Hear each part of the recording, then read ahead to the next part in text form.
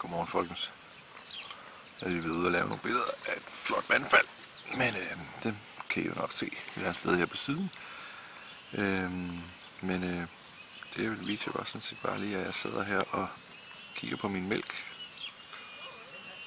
Og det er jo det rene sundhed. Altså, der er 30% mindre fedt end almindelig mælk. Den er 100% laktosefri, og så er den fra køer, der ikke er behandlet med RBST. Jeg ved ikke, hvad det er. Men, øh, og så her, det er det fedeste. Det der, det er ikke skruelåg. Det er en fresh cap. det er fedt. Øh, ja, men så her så kan man så se, at det der RBST, det kan gøre ikke nogen forskel. Så, øh, og så er der her, hvad er alle fordelene med, at der ikke er laktose, halløj, det er åbenbart noget, nogle mennesker ikke kan, ret mange mennesker ikke kan forstå, eller fanden der står. Og så hernede står der, at når man deler det op, bryder det der laktose ned, så bliver mælken sødere, så man kan spare på sukker.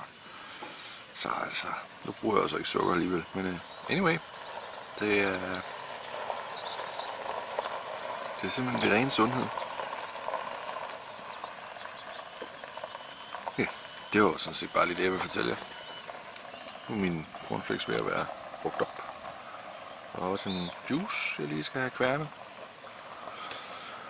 Så øh, inden det går videre nordpå, øst, vestpå, vestpå hedder det. Men øh, har nu meget rart. Solen skinner og er rimelig varmt. Men øh, hygge, hygge.